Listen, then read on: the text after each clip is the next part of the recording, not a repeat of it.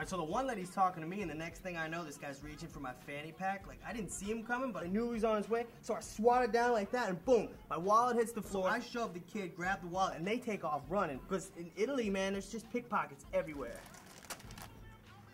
Safetyz, stash pocket underwear.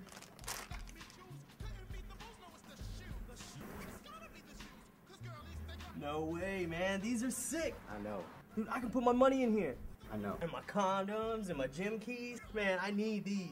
I know. Thanks, man. I'll be back. I know. Is the zipper plastic? Yes. Alright, cool.